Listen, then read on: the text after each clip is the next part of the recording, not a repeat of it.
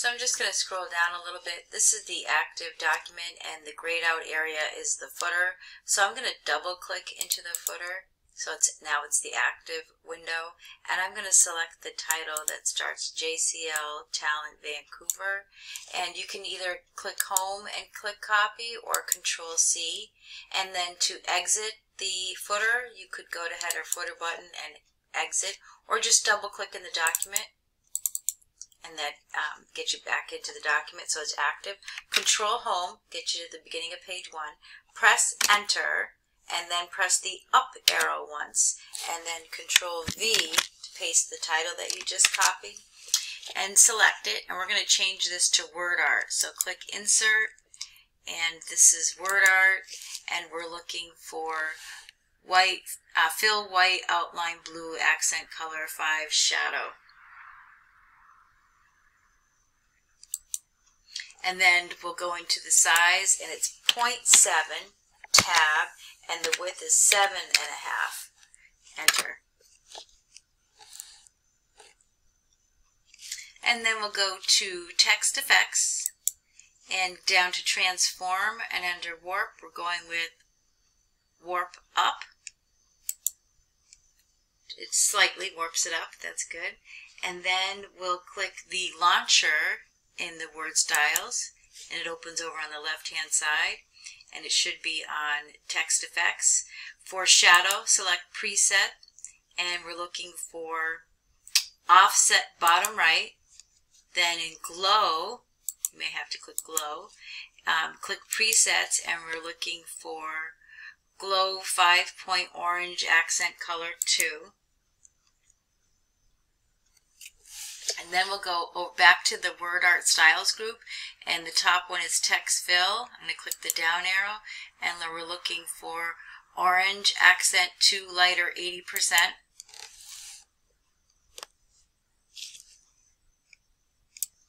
With the Word Art still selected, in the Arranged group, choose Wrap Text, and then choose Click Through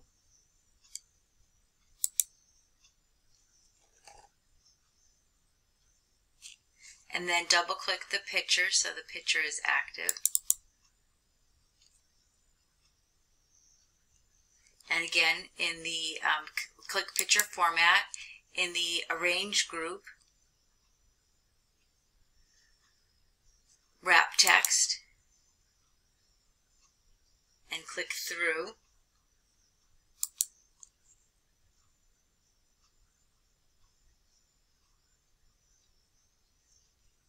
And then we'll choose send backward arrow and choose send to back.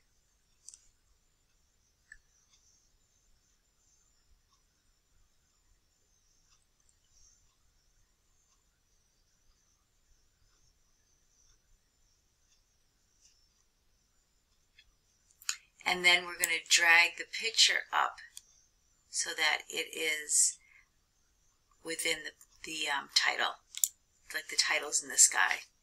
So once you drag the, the picture up so that the title is in the sky, go ahead and click the send backward arrow and choose send to back. And then I'm going to go back to the home tab and put the paragraph symbol on. And there's an enter that's under the picture. Just press delete so that's gone. So you can turn off the show hide if you'd like so it's not showing on your screen. And control end takes you to the end of the document.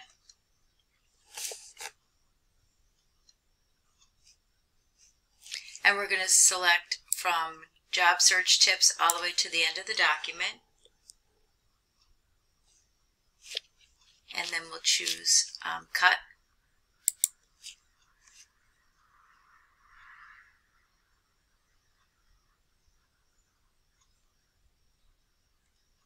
And then we're going to scroll up to after them, um, after references, so that you're after them. Good. So you before the paragraph symbol. So make sure if you want to put your show height on, make sure you're after them period in the space, but before the paragraph symbol. And then you will click the layout tab and breaks and then choose column. So you're on a whole new column and then you will choose paste on the home tab. And that paragraph that you just um, cut, the job search tips, is on the right hand side as column 2. And then we'll choose. So this text box that we just moved, we're going to select it.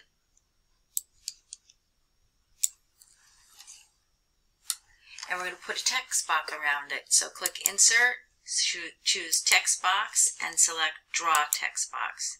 So it puts a text box around what you just cut and then paste. And let's go into um, shape format. And the size, the height should be 6.2 tab. And the width should be 2.3. Pretty close. Enter.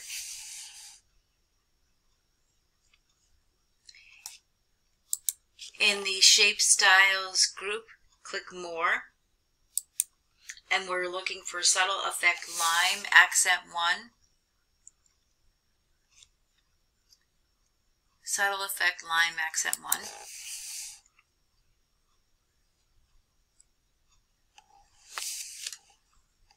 And now we'll go to page 2, where we're looking for Find New Opportunities.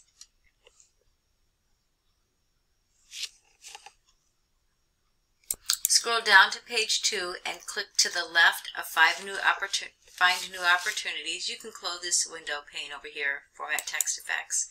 And then you'll choose Insert, Text Box, but we're looking for a specific one. It's called Austin Quote.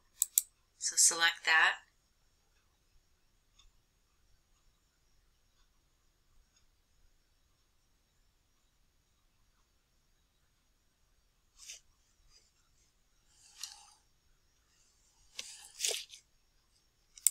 So with this um, Austin quote text box, go to the middle sizing handle and you want to make it roughly two inches wide.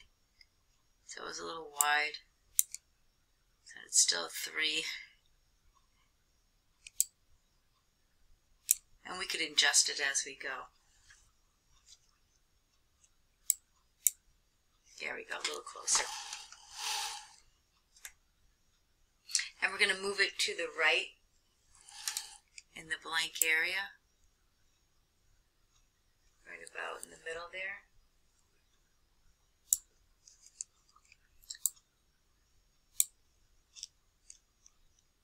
Just shy of two inches.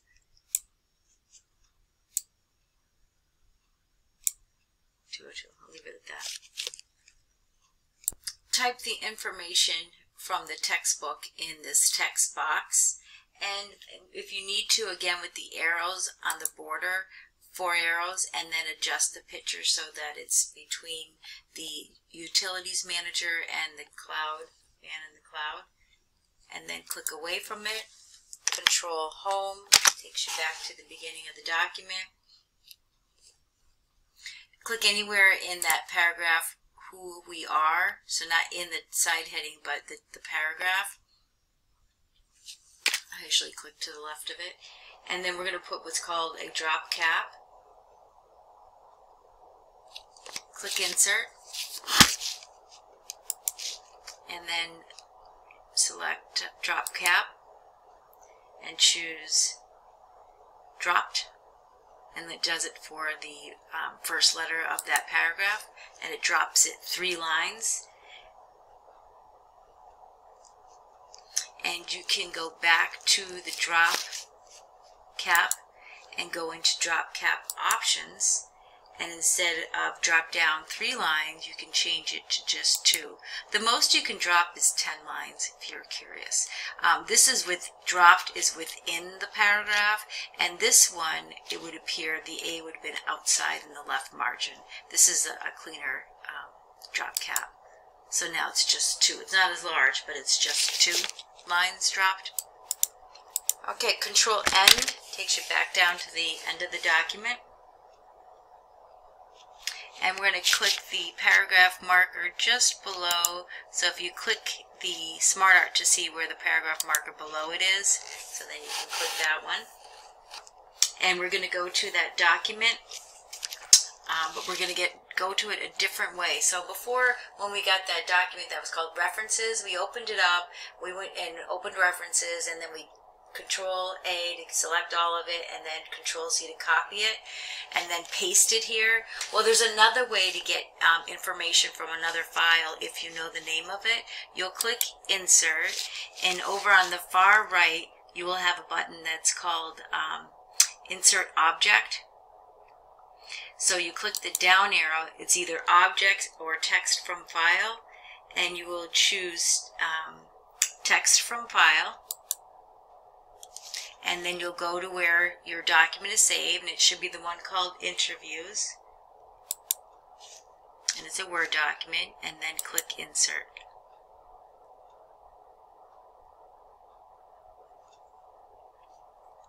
So we have a couple of extra hard returns. So I'm just going to go to the last one and press backspace so that it goes back onto that because this is a nothing page so we just keep doing it until it goes back onto the um, so it's just the two pages. And then click Control Home. That takes you to the beginning of the document. I'm going to turn my show hide uh, paragraph symbols off. And what we're going to do to make paragraphs a tighter fill, for example here, include managers or, there's empty space there. So we're trying to fill in these empty gaps by having the document hyphenated and it'll do it automatically. So you will click the Layout tab and then choose hyphenation and then choose hyphenation options. And we'll click automatically hyphenate documents.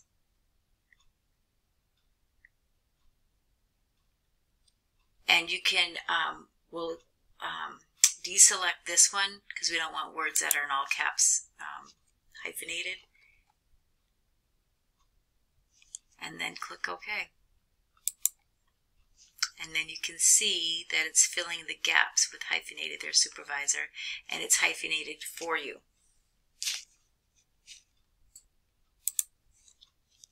Go ahead and choose view. I'm going to do control home again. Control home, view, one page. And again, this is just, um, it brought it down to 54% not to read, just to see the placement of the assignment. And then you'll click File, Open to where you stored your files. And we are opening Chicago.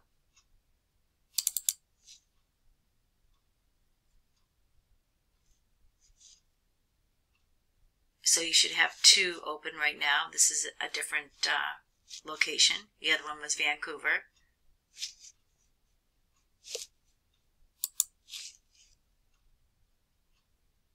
So what we want to do is see the Chicago one, the one we just opened, and the one that we're currently working on.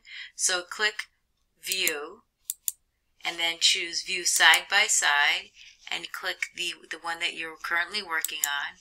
So you have Chicago on one side and Vancouver on the other side, so you can scroll through to see the similarities or what's different click in the Chicago side, the left side, to uh, make that side um, side active, and then click side to side. And then you can see both of them in multiple pages side to side. And then we can go back to Window and choose um, View Side by Side.